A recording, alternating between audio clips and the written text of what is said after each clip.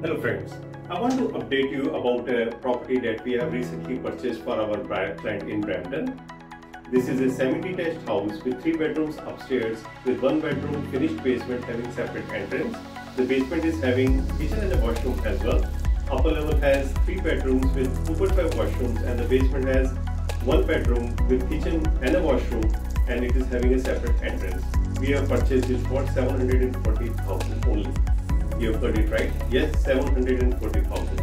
If you're looking to buy similar properties in Brampton or in neighborhood areas, give me or my team a phone call at 416 877 4680.